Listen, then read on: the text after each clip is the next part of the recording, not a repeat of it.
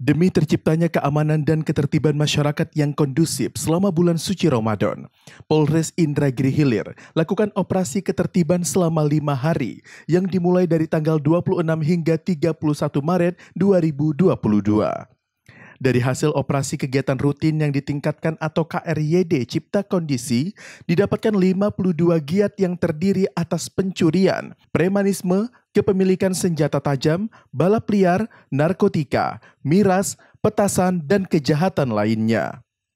Puluhan hingga ratusan barang bukti dari hasil operasi ini dimusnahkan Kapolres Inhil AKBP Dian Setiawan dan turut diikuti Asisten 2 Sekretariat Daerah Kabupaten Inhil dan Dim 0314 Inhil, Kejaksaan Negeri Inhil, Pengadilan Negeri Inhil, tokoh agama dan tokoh masyarakat Kabupaten Inhil.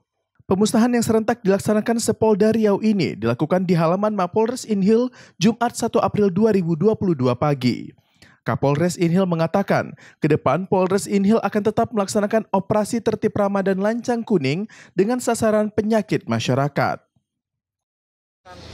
Press release dan pemusnahan barang bukti hasil operasi cipta kondisi kegiatan rutin yang ditingkatkan dari tanggal 26 sampai tanggal 31 Maret yang tujuannya dalam rangka persiapan bulan Ramadan kita harapkan pelaksanaan ibadah bulan Ramadan ini dapat berjalan dengan kondusif dengan khidmat. Jadi setelah kegiatan hari ini, pertanggal 1 ini juga akan dilaksanakan operasi tertib Ramadan Lancang Kuning 2002.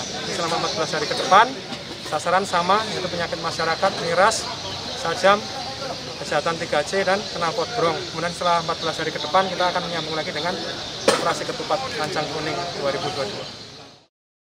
Pada kegiatan itu, Kapolres juga menghimbau kepada masyarakat, terutama pedagang petasan, agar tidak menjual petasan di luar ketentuan yang telah ditetapkan.